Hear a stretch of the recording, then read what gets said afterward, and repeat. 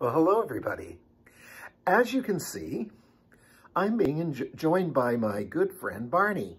Hi there. Now, Barney, you realize we've gone through the entire catechism. That's right, we have. All 118 questions and answers. But at the end of the catechism... The end? That means we're done? We're done? Finished? That's it? Well, not quite. At the end of the Catechism, there's an excellent summary of Christian teaching called the Apostles' Creed. The Apostles' Creed? What's a creed? Is that when you're creedy for lots of ice cream and chips and candy? No, no, no, that's greedy with a G. This is creed with a C. Creed. What's a creed? Well, a creed is a statement of belief. It tells us what we as Christians believe. Okay, and it's called the Apostles' Creed, right? That's right. What's an apostle? Well, an apostle means a sent one. That is, sent by God. In the Bible, the apostles usually refer to the 12 men that Jesus chose as his closest followers. Okay. Anybody else? Well, Paul and Barnabas were called apostles as well. Cool. So, like, did the apostles write the Apostles' Creed? Well, we don't really know who wrote the Apostles' Creed.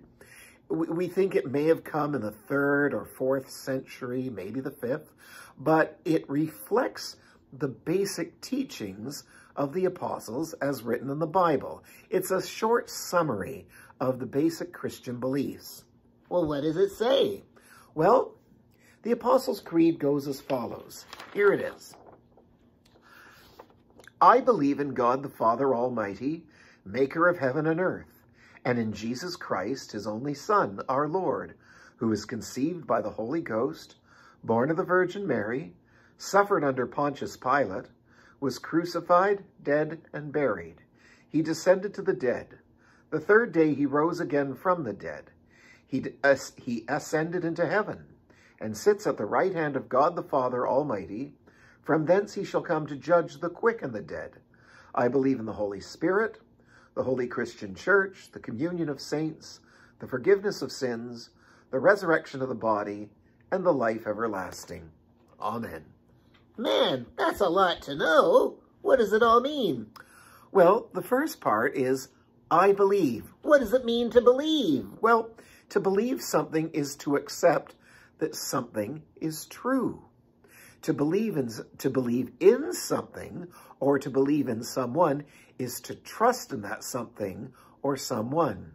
Okay, so Christians believe something. What do we believe in? Well, first of all, the creed, the creed says, I believe in God. But who or what is God? We've gone through 118 catechisms and you're asking me who God is? I forgot. Okay. All right. Fair enough. As the Baptist Catechism says, God is the first and the best of beings. Or as another catechism says, God is the first, the last, and greatest of all. God is the supreme being over all other beings that exist, have existed, or will exist. Does the Bible say this about God? Oh, yes. In Isaiah chapter 44, verse 6, we read, Thus says the Lord, the King of Israel, and his Redeemer, the Lord of hosts, I am the first, and I am the last. Besides me, there is no God. So there's no God but God? That's right. No God but the Lord. There's one God. Okay. Where else does the Bible say this? Well, in Psalm chapter 8, verse 1, it says, O Lord, our Lord, how excellent is your name in all the earth, who have set your glory above the heavens. Okay, it says it there. Where else? Okay, well, Psalm chapter 97, verse 9 says, For you, Lord, are most high above all the earth. You are exalted far above all gods. Okay, where else?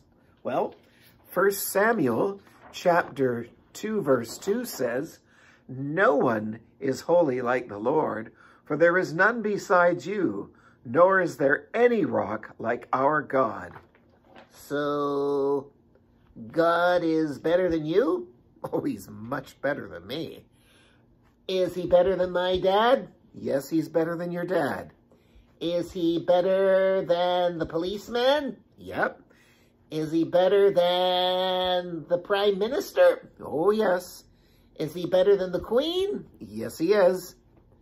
Is he better than Batman? Yes, God is better than Batman. Is God better than Superman? Oh, God is way better than Superman.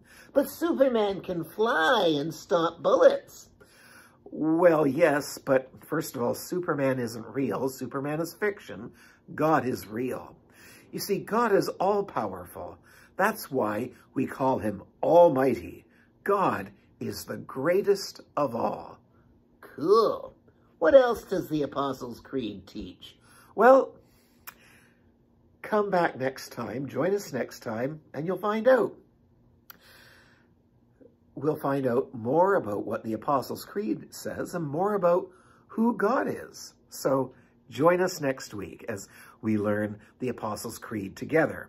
For now, just learn the phrase, I believe in God. And we'll see you next time.